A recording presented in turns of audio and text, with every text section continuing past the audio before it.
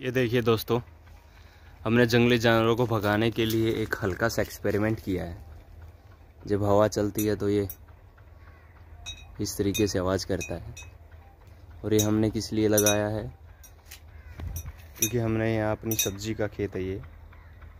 तो इस सब्ज़ी के खेत में एक दिन नील आके कुछ नुकसान कर गई थी। उसके बाद हमने इस ऑप्शन को ढूंढा। और जब ये, अभी तो हवा शांत है, शाम का टाइम है लेकिन दिन में जब हवा ज़्यादा चलती है तो ये ऐसे लगता है इसको और आवाज़ करता है। तो ये तीन दिन पहले इसमें नुकसान हुआ था, उसके बाद से इधर कुछ आया नहीं है। तो ये मेरे को तो बहुत अच्छा लगा। अगर आपको भी अच्छा लगा हो तो मेरी वीडियो को लाइक करें, चैनल को सब्सक्राइब करें। जय हिंद।